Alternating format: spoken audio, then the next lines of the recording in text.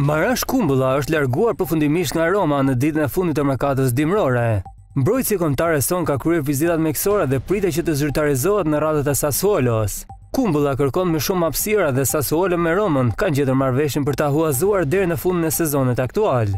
Huazimi do të jetë pa asnjë detyrim, ndërkohë që Udinese është tërhequr nga gara, pasi negociatat kanë dështuar, ndërkohë që nuk mundën të shitnin Perez te Napoli. Kumbulla nuk është aktivizuar asnjëherë këtë sezon, por rikthimi i tij duket i afërt me trajnerin Dionizi, i cili shpreson që të zgjidhë problemet në mbrojtje, që kanë kompromentuar rezultatet e skuadrës së tij në këtë pjesë të sezonit. Me Europianin në horizont, Marash Kumbulla do të kërkojë që nëpërmjet Sassuolos të luajë të gjithë shanset për një grumbullim të mundshëm me Shqipërinë. Kujtojmë që pjesë e Sassuolos është dhe Nedim Bajrami.